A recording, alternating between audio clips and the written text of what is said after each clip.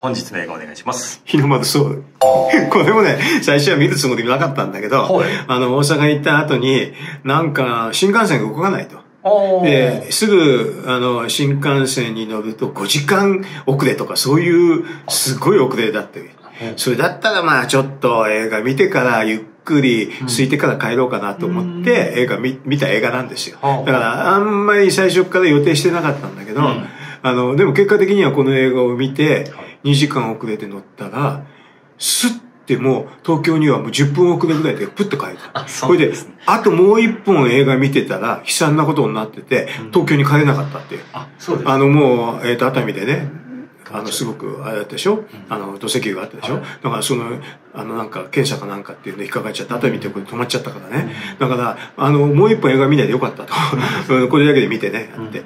まあ、これはね、史実だから。はい。あの、えーっと、知ってる人はみんな知ってるんだけど、あの、長野オリンピックの時の話でね、はい。長野オリンピックの時に、あその前にリハリハンメルオリンピックってのがあって、日本が団体で、まあ、残念ながら銀メダルだったんだけど、その時に出てたのが、まあ、あの、あの原田とかね、はい。あと西方とか出てたんだけどね、それで、その、は原田が最最後の失敗ジャンプで、うん。実は銀メダル起こっちゃった。んだね。はいはい。で、西方ってのは本当は金メダルだったっていうことだったんだけど、まあ、リハンメルで残念で、その後長野で金メダルっていうのを狙ってたんだけど、西方っていうのはちょっと腰痛かなんかでね、はい。代表になれなかったって、はい。そういう話なんだよ、はい。代表になれなかったんだけど、テストジャンパーにはなったって。うん。で、代表にならない人はテストジャンパーっていうところでもすごいんだけどね。それで、そのテストジャンパーっていうのが、まあ本当にやりたくなくてやってたような話だったんだけど、まあ最後の最後は、このテスト、あの、長野の時に日本が4位。うんで、最後、このテストジャンプが全部成功すると再開ってそういう条件だったね。それで、テストジャンプやったっていう史実ですよ。うんうんだからこれは私も知ってた。うんだからもう最初のスからストーリー全部知ってるから、ね安心して見てられるって、そういう感じではあったんだけどね。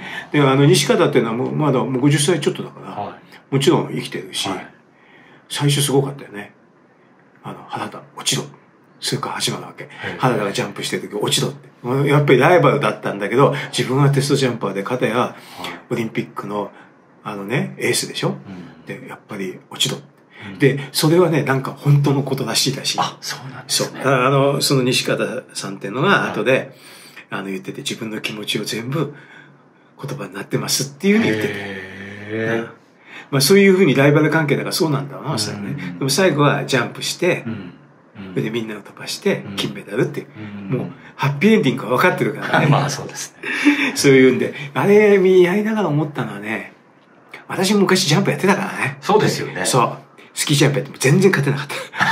これは無理だった。あの、だから、大体ね、無無理なことをやらせても無理だなと思ったんだけど、ジャンプは20メーター級までやったことあるんですよ。うんあの、小学生の時にねあ、一生懸命やってね。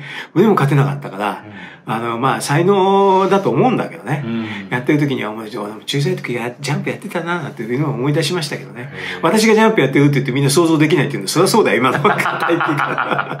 だから小学校の時にやってたんですよ。ジャンプを。ジャンプを。いや、なぜ、なぜジャンプやったかってのはこの、あれだよね、あの、本当はスラロームだったんだよね。はい勝てないんだよ、絶対に。まあ田舎の、あの、雪国の子には。全く叶わないんです。そうですね。一生懸命やってもダメだ。はいで、ジャンプができるかなと思ってやったんだけど、これもダメだったっていう。で挫折が多いんですよ、結構。もう、全然勝てなくて、どうしたら、どうしたらいいかと思ったら、もう全然勝てない。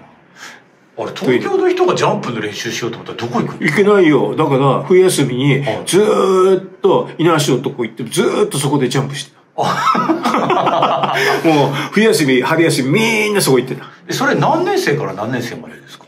あや、やってたの？はい小学校の、1、2年から3、4年かな。ああ、そうですか。うんどうしようもなくできなかった。だから、ここにね、雪国の人がいるから、あの、スキーなんか授業でやってるって人と一緒になってやるの無理だよ。あそうですよあ東京じゃ無理です。だから途中でもう、あの、もうスキーできない、ダメだからって言って、スケートに変えたけどね。ああ、そうなんですねどうしてもできなかったととてつもなく差があるんだもん。あれ、ジャンプって普通に怖くないんですかあれ？怖いよ。あれで、あれ飛ぶって嘘だよ。ただ落ちるだけ。あれはね、ヒューってくんでしょ、は上に行ってないってそのまま落ちるだけ。でも浮いてる感じはあるんですか？いやちょっと間が空いてるってだけでしょ。それはお怒っていくだけだってあれは。あれ飛ぶって絶対嘘だよ。あ れただひたすら落っこちるだけ。へえあそうなんですね、20メーター行くの怖いよ。あ怖いんですすごいだってすごい先だもん。うんそうですよね、でも40メーター級は正直言ってできなかったよ私。足がすくんじゃって。あそうですか、うん全然できなかった。20メーターも限界。あそうなんですね。もう腰引いちゃってもうどうしようもないんだよねだからあのなんかジャンプの子ってみんな勇気あるんだよあれん。あれとんでもない話だよ。ただ落ちるだけだからね。飛ぶってのは全く嘘です。そうなんですね。なるほど。わかりました。感動はしたんですか映画は？そうは結構知ってる話だったからね、うん。やっぱり最後ほら日本がオリンピックで金メダルだから、はい。そこは感動しますよ。あやっぱそうなんですね。うん、そこはやっぱりほら思い出してね。うん。長野の時のね話を思い出すっていうかね。で私らの世代だと本当は長野じゃなくて札幌五輪なんだけどね。ああの札幌五輪の時には笠谷が飛んで、あの高校の時に もう授業そっちのけで授業なしにして全部見てたけどね、へえあうん長野もまあえっ、とこれはあれだってね。もう役人になっちゃったから。うん役人の時に見てたって感じ、うん。うん